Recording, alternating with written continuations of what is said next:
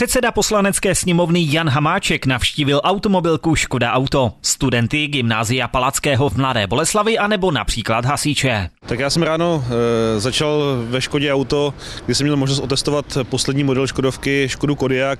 Musím říct, že to je e, zase obrovský skok kupředu, je to auto, které se perfektně řídí, velmi dobře reaguje. E, nemám nic než slova chvály a určitě to bude obrovský trhák. Se studenty gymnázia Palackého předseda poslanecké sněmovny diskutoval na téma mezinárodní a zahraniční politika. Měl jsem možnost vyzkoušet takový experiment a popovídat si si se studenty o zahraniční politice, nicméně v angličtině.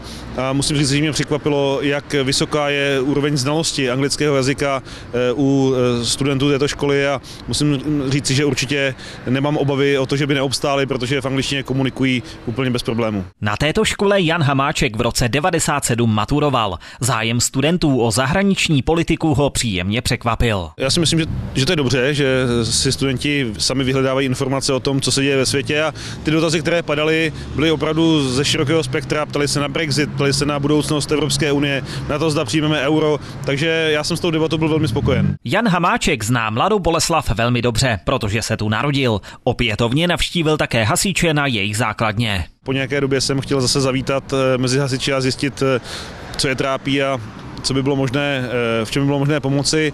Eh, hovořili jsme o technice, eh, od té doby, co jsem tady byl naposledy, tak prošla technika docela zásadní obměnou, jsou tady moderní automobily a je potřeba v tom pokračovat i do budoucna.